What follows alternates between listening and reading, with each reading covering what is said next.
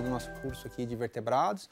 Hoje eu vou conversar com vocês a respeito de um sistema muito importante, que é o sistema de nervoso, que faz a coordenação entre todo o aparato sensorial dos vertebrados.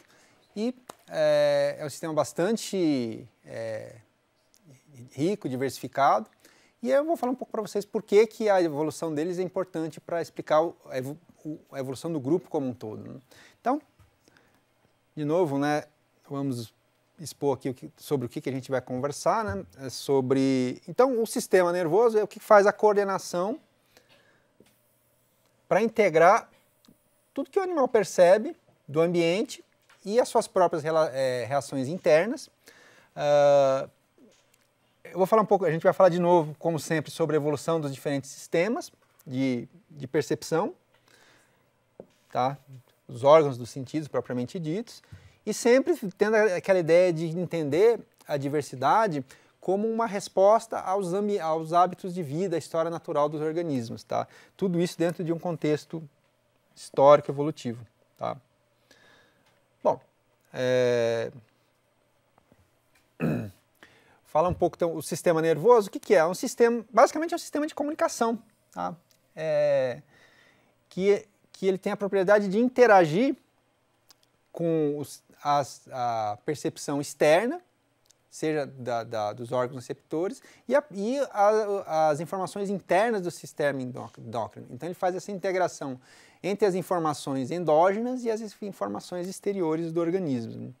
Uh, e é interessante porque ele vem de uma propriedade universal dentro da, da, do, do, de qualquer ser vivo, que é a propriedade de ser passível de ser estimulado, irritabilidade, né? que é a habilidade de responder aos estímulos ambientais. Então, a partir dessa, dessa propriedade muito simples, de simplesmente ser reativo a algum tipo de estímulo, a gente tem o desenvolvimento do, do sistema nervoso. Mas a origem é simplesmente essa capacidade universal de ser estimulável, ser irritável. Tá? Uh, então, em termos gerais, a gente tem uma é um sistema que é composto basicamente de dois tipos, de, dois grandes tipos de células, os neurônios e as glias, ou neuroglias, né? Esse aqui é o, é o, esquema básico de um neurônio, e isso é muito importante, tá? É, onde a gente tem o corpo da, do, da célula, essas ram, pequenas ramificações são os dendritos, um longo corpo, que é o axônio, que faz a coordenação com outros, outras células, então, isso aqui é o, é o neurônio. Lembrando que a, ele a comunicação se dá através de, de estímulos eletroquímicos, que é sempre nesse sentido, do dendrito, corpo do axônio ao longo, desculpe, corpo do neurônio ao longo do axônio. E o outro tipo de célula que a gente está vendo aqui, que eu falei para vocês, são as células glia ou neuroglias, que na verdade são pelo menos quatro tipos diferentes são, são reconhecidas hoje de, de neuroglias, e que elas atuam é, unindo, juntando e alimentando os neurônios. Então, um, um, tipo bastante comum, esse tipo aqui, que são as células de Schwann, é um dos tipos de neuroglias. Tá? Então, é, basicamente, em termos de estrutura de composição, o nosso sistema inteiro é basicamente com, composto nesses dois tipos básicos de célula. Tá? Bom, então, a, a, evolução do grupo, a evolução do sistema nervoso do, dentro do, dos, do, dos vertebrados, ele tem basicamente duas grandes tendências. A tendência de encefalização, ou seja, a gente concentra células nervosas que vão coordenar na região do, da cabeça do animal, no encéfalo, né, no crânio. Então, por isso a gente tem a. É, isso é uma tendência que ocorre dentro do grupo. Né? Então, aqui a gente não tem, é, nesses grupos basais, a gente não tem um crânio diferenciado, tanto é que aqui o que dá nome a esse grupo aqui é o craniata, tá? que é o aparecimento do crânio, que é justamente isso, né? a, a tendência de é, encefalização do organismo. E outra grande tendência que a gente tem dentro do grupo, do, do grande grupo do, dos vertebrados, é a especialização. Porque como a gente viu que o, a, o, uma característica do, do do sistema é ser reativo ao seu ambiente, dependendo do tipo de ambiente que o organismo ocorre, ele vai ter que ter um mecanismo sensorial específico para esse grupo. Então, isso é bastante importante e isso ajuda a gente a entender por que, mais uma vez, esse grupo é tão diversificado dentro do, na, na, na Terra. Então, por exemplo, uh, a gente tem as percepções, como eu disse, as percepções variam de acordo com a história de vida, história e modo de vida. Então, a gente tem pelo menos cinco grandes categorias de, de receptores. Né? A gente tem é, quimiorreceptores, que fazem a, são capazes de detectar cheiros, gostos, então esse é bastante, é o mais disseminado de todos. A gente tem mecanorreceptores, tá, que vão ser sensíveis a toque, a pressão e ao som. Então, quando a gente ouve, a gente está se valendo de mecanorreceptores. É, algumas coisas são específicas de alguns grupos, mas é bastante interessante, por exemplo, eletroreceptores. Tá?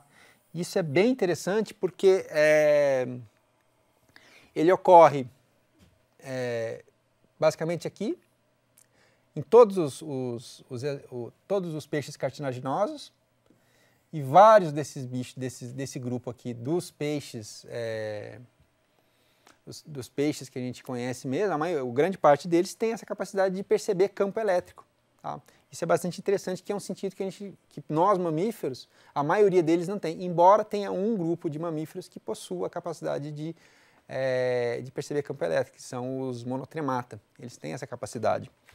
Uh, outra coisa interessante também que é, que é, particular é a capacidade de perceber calor, tá? ter termos receptores, receptores de infravermelho, que ele ocorre em alguns grupos de, de serpentes e mamíferos. Tá? Tem alguns, alguns morcegos, vampiros, que eles conseguem detectar calor, porque é, e a partir desse calor eles se alimentam das suas, dos seus, dos seus, das suas vítimas. Né? E uma coisa que também é bastante universal, se não universal, bastante importante e, e, e, e, literalmente visível é a fotorecepção, ou seja, a capacidade de perceber é, impulsos luminosos e converter isso em imagens, formar imagens, né? ver literalmente. Né? Que é uma coisa também que aparece em praticamente todos os grupos aqui, com exceção desses mais, mais, mais primitivos. Tá? Uh, bom, em termos gerais, então, o que, que a gente tem, então? Uh, temos um, em termos de divisão para compreensão, a gente pode dividir num sistema nervoso central, tá? que ele é composto basicamente do encéfalo, que é o cérebro, mais a medula espinhal. Tá? Todo o cérebro de um vertebrado ele pode, pode ser basicamente entendido como uma estrutura composta de três partes, tá? rubencéfalo, mesencéfalo e prosencéfalo. Essa parte mais dita é, caudal, né, que está mais para trás, é responsável pelas, pelos, pela informação das características mais básicas do organismo, do tipo respiração. Essa parte aqui, mesencéfalo, é muito importante porque ela está relacionada com a visão e o prosencéfalo está com a coordenação de todos os outros. E, é, e uma coisa interessante de ver na evolução dos grupos é como essas três essas três é, partes, elas variam de acordo com o organismo. Então você vê alguns peixes, por exemplo, os peixes ósseos, eles têm muito cerebelo, que corresponde a isso daqui, tá? essa parte aqui do prosencéfalo. Por quê? Porque o cerebelo ele é uma estrutura que ele, é, que ele dá a percepção é, de equilíbrio do organismo. Então, por exemplo, os peixes, por exemplo, ele tem que saber se ele está subindo ou descendo. Então, como essa percepção é muito importante para eles, para os peixes, eles têm o cerebelo bem desenvolvido. Tá? Então, essa, essa variação varia, é, é, se dá também muito em função do tipo de ambiente que, que o organismo ocupa, o que, que ele faz, na verdade, o que ele utiliza mais. Tá? Então, se você pega, por exemplo, no caso de um mamífero, por exemplo, que essa parte aqui, ele é muito mais desenvolvido que todo o resto, por quê? Porque tem todo, dentro dos mamíferos existe uma série de coordenações de, de sociabilidade, de interações sociais que demandam esse tipo de especialização, tá? Uh, então é isso que a gente vê, né? O, no caso de peixes e anfíbicos, de anfíbios, a gente tem basicamente sempre essa mesma estrutura, o cérebro é, linear, e quando a gente está partindo para outros grupos como aves e mamíferos, a gente já tem uma imensa, um grande desenvolvimento dessa região mais anterior do crânio, que é o prosencéfalo córtex. Né? Então, que isso que vai dar o controle integrativo de todas as informações que o organismo recebe. Bom, então a gente tem o sistema nervoso central, tá, que vai fazer essa coordenação de informação, e a gente tem o sistema nervoso periférico. Então, o, o periférico, basicamente, ele a gente pode ser dividido no, no, que, te, no que é responsável pela, pelas sensações, né, de, de que, re, que recebe informações do organismo. Tá? Então, por isso ele diz o sensório ou aferente, porque ele é basicamente o que processa as informações do tipo hormonais, é, eletroquímicas, outras informações do corpo para o corpo. Tá? E a gente tem o sistema nervoso motor ou eferente, tá? Que faz o responsável pelo controle muscular e de glândula. Esse aqui é bastante, esse aqui é o mais óbvio para a gente. Quando a gente faz algum movimento, a gente está usando o controle motor do sistema é, nervoso periférico eferente. Tá? Então, o eferente, por sua vez, ele tem dois componentes principais, que é o, o sistema somático, que é o voluntário, quando a gente está se movimentando, quando eu estou falando com vocês, eu estou me valendo desse sistema. E tem o sistema nervoso autônomo, que é o visceral, que a gente vai ver com mais detalhe aqui. Então, o sistema nervoso é, visceral, nervoso autônomo visceral, ele controla as funções internas, tá? funções às quais a gente não tem controle, por exemplo, o batimento do coração, o movimento do, é, de contração das, da, do, do, esôfago, a, a, íris, por exemplo, né, uma coisa que é bastante interessante, né, a, você perceber a abertura da íris que mostra o interesse na, no que você está vendo. Tudo isso são relações pelas, com as quais a gente não tem controle e que estão a cargo do sistema nervoso autônomo. Tá? Uh, e além dessa, dessa, dessa e esse sistema, além do sistema autônomo, você tem mais duas outras subdivisões que vão, de fato, com, é, é, responder por esse tipo, pela, por essas modificações internas, orgânicas mesmo. Então, a gente tem o autônomo é, simpático e o parasimpático, que eles atuam de uma maneira muito interessante, de uma maneira que dita antagonista, como se fosse freio e acelerador. Então, quando um dispara, por exemplo, o coração ele aumenta o batimento cardíaco. Aí o organismo percebe que está muito, ele ativa o outro sistema contraparte de modo a diminuir a, o batimento cardíaco. Então eles funcionam nesse sistema de acelerador e freio. Tá? Então por isso eles são ditos antagonistas, porque eles fazem esse sistema compensatório. Tá? Cada, cada órgão, por exemplo, bexiga urinária, coração, pulmão, Todos eles são inervados simultaneamente por esses dois tipos de nervos, né? tá? os simpáticos e os parasimpáticos, e eles reagem de acordo com a estimulação que está havendo no momento.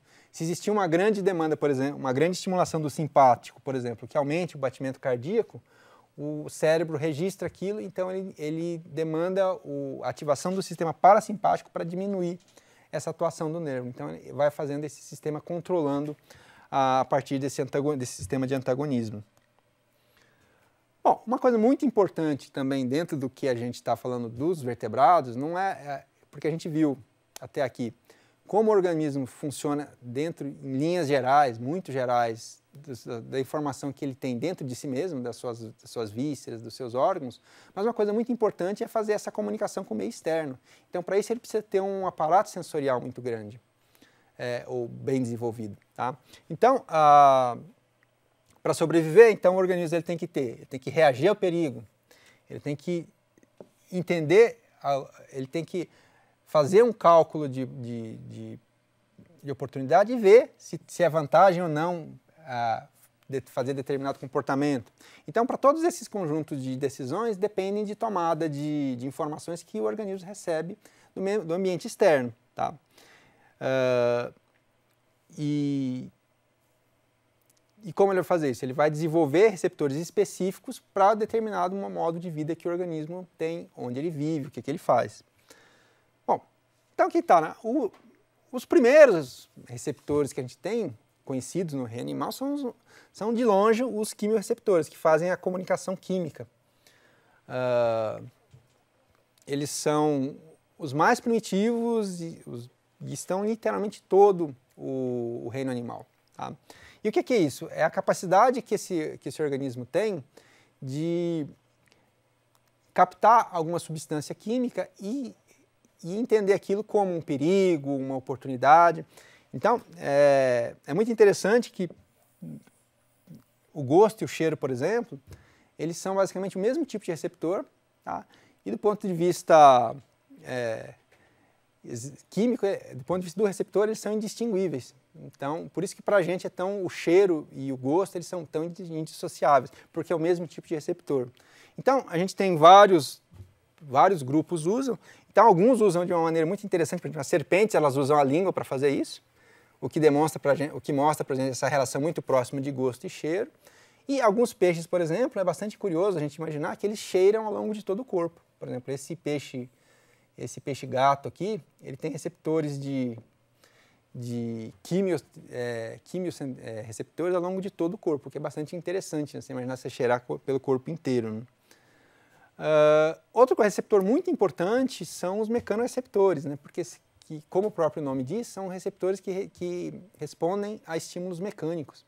Então, tem dois grandes grupos importantes que eu queria chamar a atenção de vocês. Primeiro é para esse daqui, que é a linha lateral, eles têm um, um, um, tipo de célula chamado neuromasto, que é responsável pela percepção da mudança de pressão na água, então ele consegue ter essa informação do meio externo e se tem algum predador se aproximando, se tem algum movimento na água. E outra que nos diz muito, uh, nos diz muito que a gente tem uma grande afinidade, é a nossa própria audição, nossa percepção de música só existe porque existe mecanoreceptores. Tá? Então aqui a gente tem um esquema básico de um, de um ouvido de vertebrado, no caso o um, um, nosso. Uh, então tem o ouvido externo, a parte externa, onde é o aparelho a orelha, né, propriamente dito, tem a parte média que faz a condução do som, e aqui a gente tem a transformação, esses, essa estrutura, derivada do, de um arco mandibular, você veja que interessante, a, a, a, gente ouve a partir de ossos desenvolvidos de mandíbulas, tá? e isso aqui é que faz a conversão do som numa informação química que a gente interpreta como som. Tá? E ele é especialmente importante, o som, próprio, os mecanoreceptores são importantes para todos, mas no caso do som, ele é extremamente importante para anfíbios, que vários dos grupos eles se reproduzem a partir da...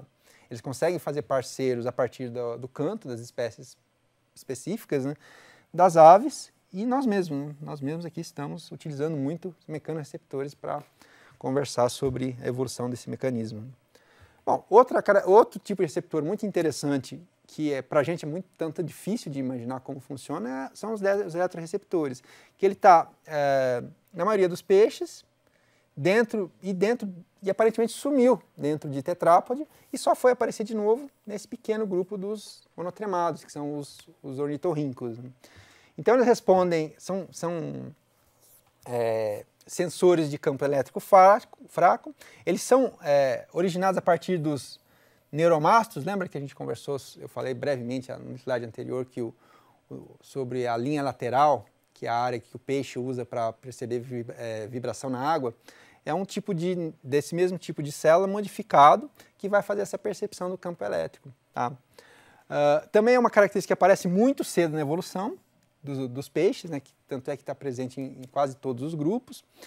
Uh, e outra inferência de que ele é muito antigo é que mesmo nos fósseis de alguns peixes, grupos distintos de peixes, a gente encontra ah, um tipo, uma fosseta, né, uma, uma cavidade no crânio que sugere a existência desses, desses, desses eletroreceptores. Então ele funciona funcionaria mais ou menos assim, ele, aqui está o campo elétrico e eles perceberiam isso essa, por exemplo, outro peixe chegando interferir, interfere no campo elétrico ao longo do, pe, do, do organismo, né? e então, em função disso, ele consegue fazer suas atividades de caça. Isso aqui é muito comum, por exemplo, em peixes de águas, de, de águas é, muito turvas. Por exemplo, na Amazônia, por exemplo, os, águas, os rios de água branca, tem muitas espécies de peixes que, inclusive uma que tem a capacidade de maior produção de, não só de percepção, mas de produção de de carga elétrica é um peixe amazônico, que é o nosso poraquê. E também nos tubarões, também vários deles, eles usam isso para perceber presas enterradas. assim. E, bom, outra, outro tipo de, de, percepção também é bastante particular que a gente não tem, e mas alguns grupos têm, são a recepção de, de infravermelho, que é o calor, né? Então, alguns grupos eles têm essa capacidade de estruturas especializadas, por exemplo, essa jararaca aqui, ela tem, dentro dessa dessa cavidade aqui, ela tem um órgão que ela é capaz de receber, perceber radiação infravermelha e, ler isso como calor. Então, ele, é, ele, esses animais se usam dessa capacidade para se, deslocar em, em, em, ambientes onde não tem luz, e alguns grupos, por exemplo, como, como morcegos, eles usam essa capacidade de sentir calor para procurar a sua presa, né? que, do, do, sangue que ele se alimenta. Né? Bom, e finalmente, né, o último grande órgão que a gente tem para falar é sobre a visão. Tá? A visão dos vertebrados, de uma maneira geral, é, um, é obtida a partir de um olho do tipo lente fotográfica. Bom, então aqui a gente tem a luz que ela vai entrar pela, pela pupila, ela atravessa uma lente que é o, a, a, lente e depois ela vai cair na retina, onde ela vai, for, vai transformar o impulso é, elétrico, o impulso luminoso, em impulso químico, com o qual o, que essas outras células aqui, que a gente vai conversar um pouquinho mais depois, os cones e os bastonetes, eles vão conseguir fazer essa percepção de claro, escuro ou luz e, a partir dessa modificação, transformar no impulso que o cérebro vai entender como a imagem que a gente vai ver depois, tá? Então, uh, em termos de química, então a gente tem o seguinte, a gente tem uh, dentro do, do, da, do, globo ocular, a gente tem uma área que, cons, que que chama de máxima resolução, que é a fóvea, onde ela vai concentrar a maioria de um tipo específico de célula, que são os cones, que são os responsáveis pela nossa percepção de luz, de, de, de, de, cores, na verdade. E a acuidade de um animal, ou seja, a percepção de, de, de, resolução, se dá na quantidade de cones que, esse animal, que ele tem na retina. Então, por exemplo, no nosso caso, a gente tem em torno de 150 mil cones por milímetro quadrado. Mas algumas aves elas podem ter até quase sete vezes mais. Por exemplo, alguns falcões, por exemplo, podem ter quase um milhão de, de cones por é, milímetro quadrado. Então isso dá a noção do quanto a nossa visão, é, o quanto a visão, o, quanto a nossa visão ainda é limitada em relação a algum, alguns outros organismos. Né? Uh, bom, a questão é que essa, essa resolução toda ela demanda muita luz. Mas alguns organismos eles não vivem em, em, ambientes iluminados. Então, eles na verdade, eles precisam se, se viver em, em, locais de pouca luminosidade. E para suprir essa, essa baixa luminosidade, existe um outro tipo de célula, que são os bastonetes, que na verdade são bastante sensíveis, são células capazes de, de detectar um único fóton e que eles dão essa percepção de visão noturna que, que alguns animais precisam. E, ah, bom, finalizando, né, revisando tudo que a gente viu, o que, o que a gente viu aqui com vocês, a gente discutiu a função básica do sistema nervoso, ou seja, é, integrar as informações do corpo com as informações externas, fazendo a mediação entre as duas, para conseguir é, fazer as suas atividades de fugir de predador, saber se está doente, procurar comida. Isso, a, o sistema nervoso faz essa integração. Uh, observar a diversidade desses mecanismos como reflexo da, da, dos ambientes distintos que esses animais é, é, habitam, ocupam e fazem as suas atividades, e entender essa complexidade sempre como um produto de um processo histórico evolutivo. Tá? Então, obrigado pela atenção, vamos até a próxima aula.